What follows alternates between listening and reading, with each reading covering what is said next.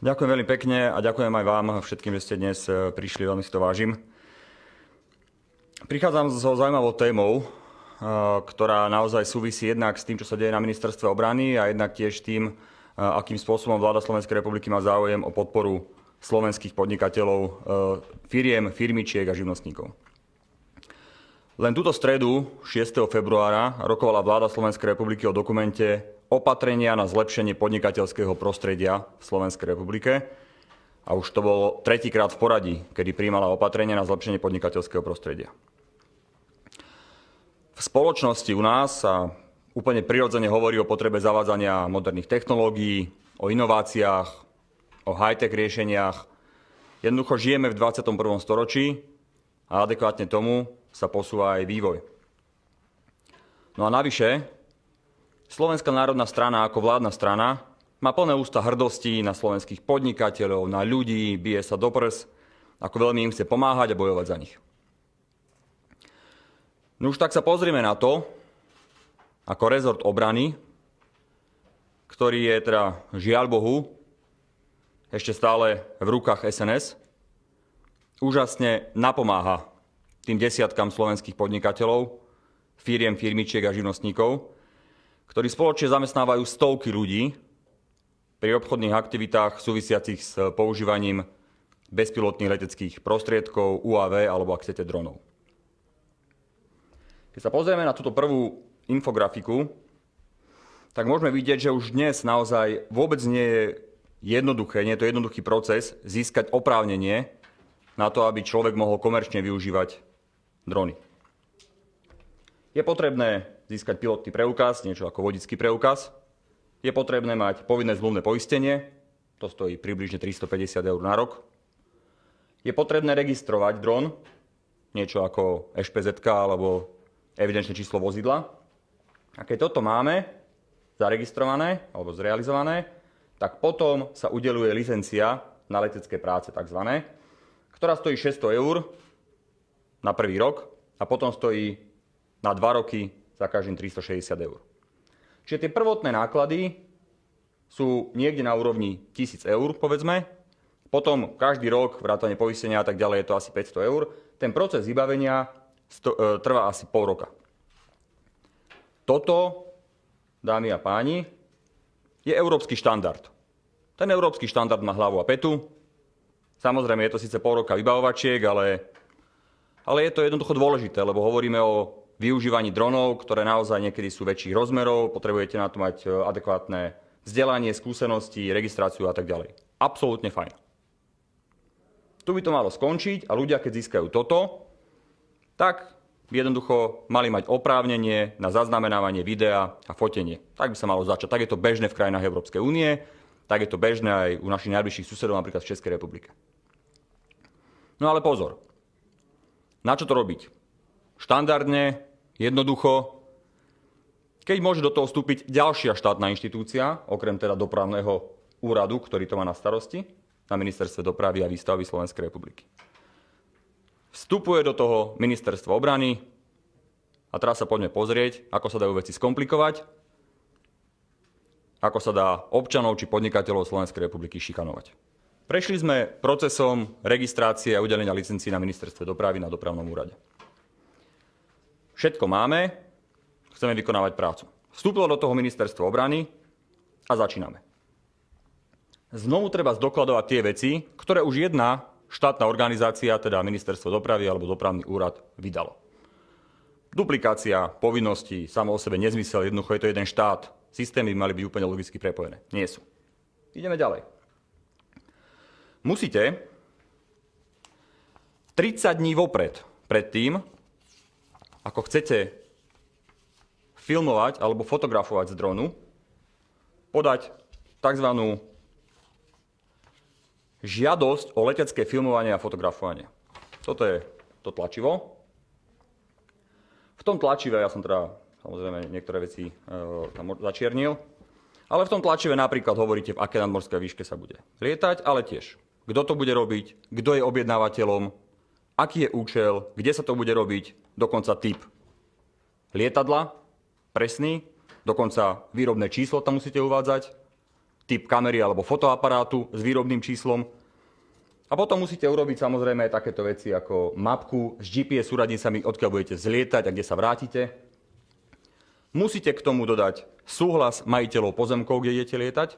Teraz si predstavte, že lietate niekde nad parcelou, ktorá má, ja neviem, 30 majiteľov. Asi ako to budete zháňať. Jednoducho, veľká podrobnosť a 30 dní vopred, 30 dní vopred, ako chcete lietať, to máte podať na ministerstve obrany. Následne, keď teda príde pozitívna odpoveď z ministerstva obrany, sa realizujú práce. Zrealizujete prácu a máte nasnímaný tzv. prvotný materiál. No ministerstvo obrany tvrdí, že ten prvotný materiál je utajovaná skutočnosť. Si predstavte ten nezmysel, že fyzická alebo právnická osoba na Slovensku, ktorá nie je oprávnená tvoriť utajované skutočnosti, nahrá video a má to byť považované automaticky za utajovanú skutočnosť. Teraz, čo s tým materiálom, ktorý je nasnímaný? Tak ten materiál, dámy a páni, je potrebné zaslať na topografický úrad, ústav ministerstva obrany, myslím, že je v Banskej Bystrici. Treba to dať pekne do krabice a poslať to poštou do Banskej Bystrice. Ako logicky, utajovaná skutočnosť, dáte do krabice a pošlete poštou do Banskej Bystrice. Ale aby sme neboli veľmi jednoduchí v tom procese, darmo je to topografický ústav ministerstva obrany, vy musíte urobiť notifikáciu, ktorú pošlete tiež na ministerstvo obrany, že posielame na topografický úrad ten dokument. Tam, dámy a páni, majú ďalších 30 dní na to, aby sa pozreli, čo ste vlastne natočili. Po 30 dňoch topografický ústav dá vyjadrenie, či je ten materiál v poriadku a môžete ho zverejniť, alebo či ho treba zmeniť. Ak ho treba upraviť, tak ho upravíte v zmysle pokynov. A keď je v poriadku, tak ho môžete zverejniť. Ale predtým, darmo je to topografický ústav ministerstva obrany, vám dajú príkaz, aby ste to znova poslali na ministerstvo obrany na archiváciu. Nezmysel? No a tento proces, vážení kolegovia, odkedy to začnete vybavovať, dostávate odpovede, píšete si s ministerstvom obrany, s rôznymi súčasťami ministerstva obrany, môže trvať až 70 dní.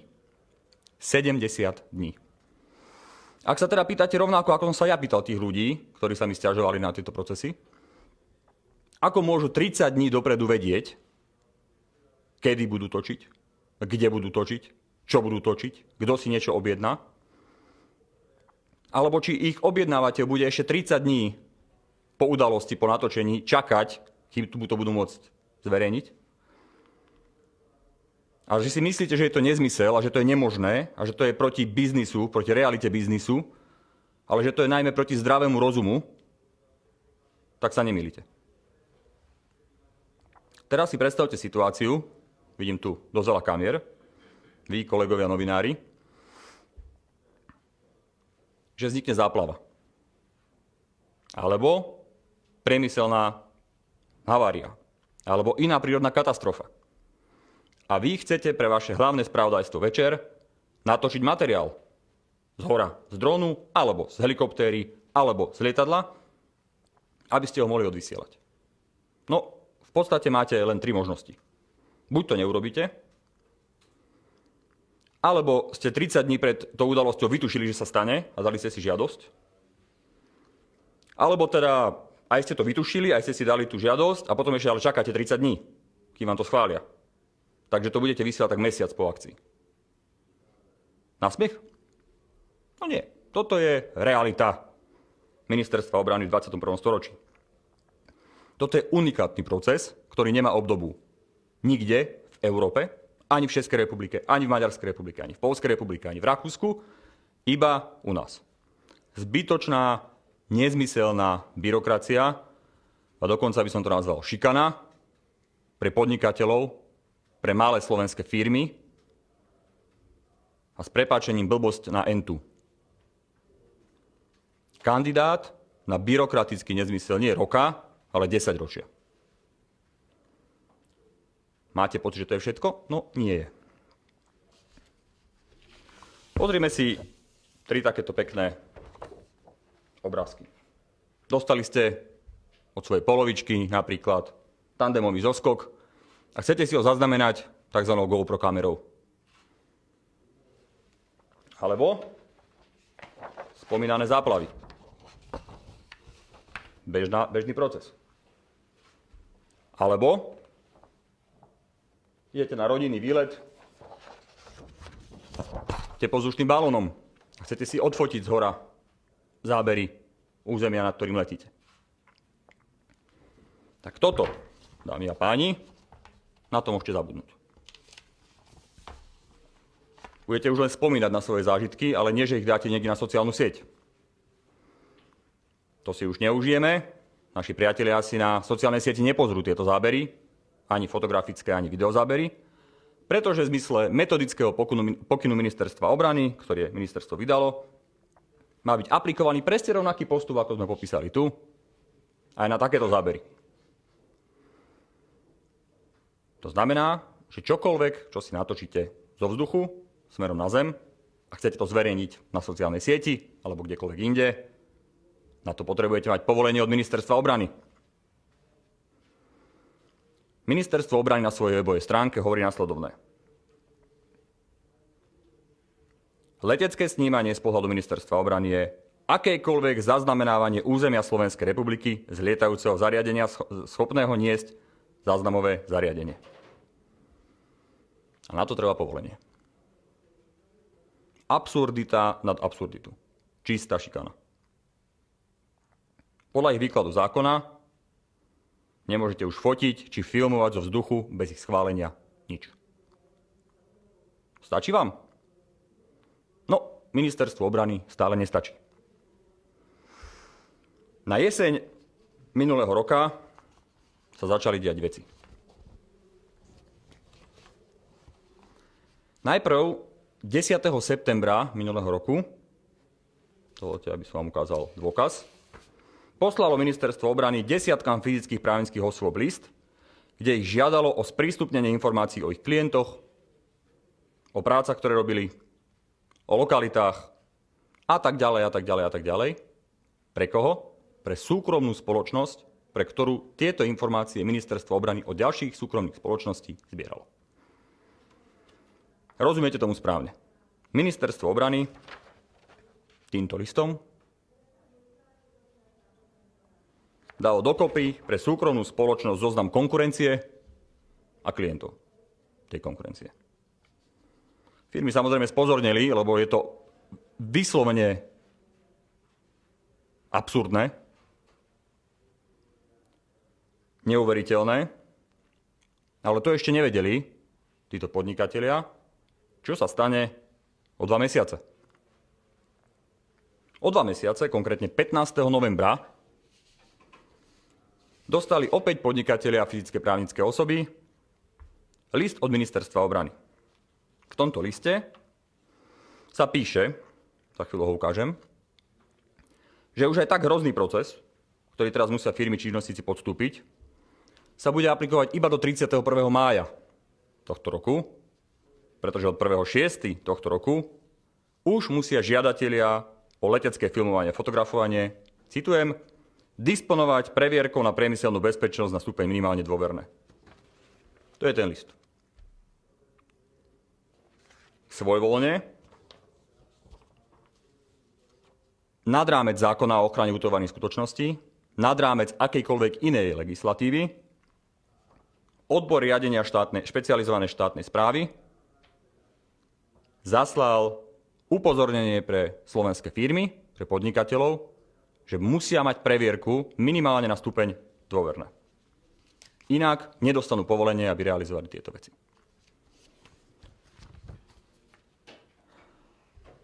Pozrime si krátke video teraz, môžem poprosiť, kde ministerstvo obrany vysvetľuje na seminári účastníkom, že sa to musí robiť, lebo na tom trvá NBU. Z hľadiska vývoja situácie proces vydávania týchto súhlasov bude prebiehať v súčasnej dobe alebo v súčasnom zložení do 31. mája 2019. Po tomto termíne nastupuje inštitút, že na základe rokovaní s Národným bezpečnostným úradom, ktorý je garantom zákona o ochrane utajovaných skutočností, sa akékoľvek zaznamenávanie zemského povrchu z lietajúceho zariadenia bude hodnotiť ako letecké snímkovanie podľa paragrafu 64 a tým pádom ho môže vykonávať ministerstvo obrany s jeho súhlasom právnická osoba, ktorá bude splňať podmienky, to jest, bude mať priemyselnú bezpečnosť, minimálne na stupeň utajenia dôverné. Takže ste počuli, ako predstaviteľ ministerstva obrany oznámil účastníkom seminára, že je naozaj potrebné mať previerku na stupeň minimálne dôverné, lebo to vyžaduje Národný bezpečnostný úrad. Rozumiete? Požiadavka štátu, aby firmy si urobili bezpečnostnú previerku, čo znamená desiatky strán formulára, čo znamená fyzická zmena objektu, kde sídlia, vybudovanie špeciálnej miestnosti, priestoru, dvere, zamrežované okná, ja neviem, hrúbka stien a tak ďalej a tak ďalej, nejaké, nejaké čipové vstupy, zapisovania sa, kto kedy do tej miestnosti vošiel. Tie firmy väčšinou sídlia vo svojich domoch, tak si prerábajte dom kvôli tomu. Bude to stáť niekoľko 10 tisíc eur, lebo si to ministerstvo obrany s prepáčením vycúcalo z prsta.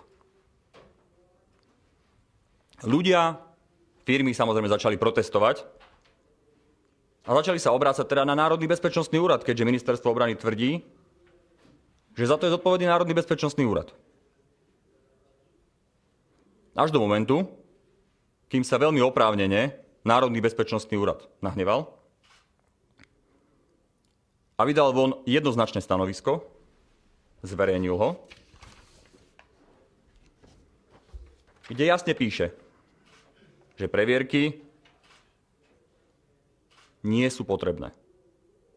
S výnimkou, ak sa jedná o kartografické alebo geodetické činnosti, čo je samo o sebe úplne iná záležitosť. A tým pádom ministerstvo obrany jednoducho zavádzalo desiatky firiem na Slovensku že musia podstúpiť proces bezpečnostnej previerky, bezpečnostného preverenia. A predstavte si, že napriek tomu, že ten Národný bezpečnostný úrad dal takéto stanovisko, tak tomu ministerstvo obrany stále neverí. Ako sme počuli aj z úst hovorkyne ministerstva obrany, vypisujú si listy s Národným bezpečnostným úradom, kde ministerstvo obrany tvrdí Národnému bezpečnostnému úradu v podstate to, že nerozumie zákonu, za ktorý je zodpovedný za zákon o ochrane utajených skutočností. Čo si budeme hovoriť? Ministerstvo obrany spochybňuje Národný bezpečnostný úrad, tí dávajú oprávnené stanovisko, občania nevedia, čo majú robiť a krútia hlavou. Záver. Nie len to zverejnené stanovisko Národného bezpečnostného úradu, ktoré som vám ukázal, ale najmä zdravý rozum. Ukazuje, že ministerstvo obrany už dlhšie koná v tejto veci jednoznačne nad rámec zákona. A je v podstate jedno, či sa vyhovárajú na zákon o ochrane utajovaných skutočnosti alebo na zákon o kartografii a geodézii, nad rámec akéhokoľvek zákona. Ministerstvo obrany šikanuje podnikateľov, a ako som vám dokázal, tak aj bežných ľudí. Bežných, čestných, slušných ľudí. Nie len, že žiadne previerky si firmy, ktoré používajú drony na poľnohospodárstvo napríklad, lesné a vodné hospodárstvo, na cestovný ruch, na reklamu. Nielen, že si ich nemusia robiť, ale treba ísť ešte ďalej.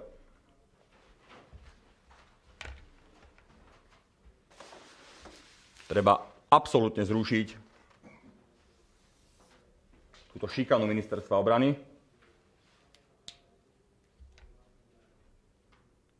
Túto nezmyselnú byrokraciu a túto štruktúru, ktorú si vytvorilo ministerstvo obrany, neviem na základe čoho.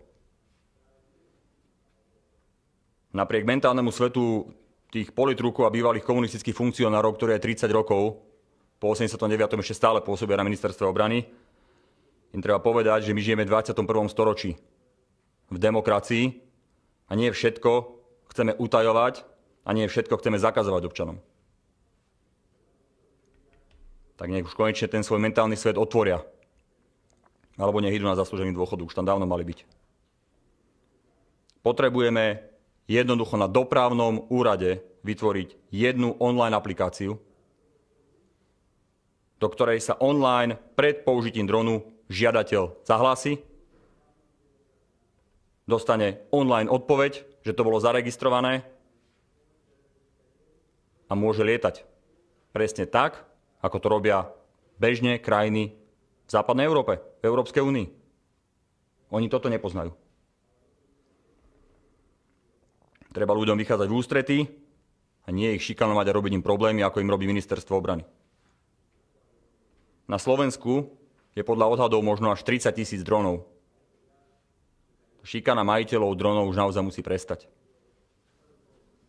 Preto vyzývame ministerstvo obrany, ale aj ďalšie zodpovedné štátne inštitúcie, aby okamžite konali.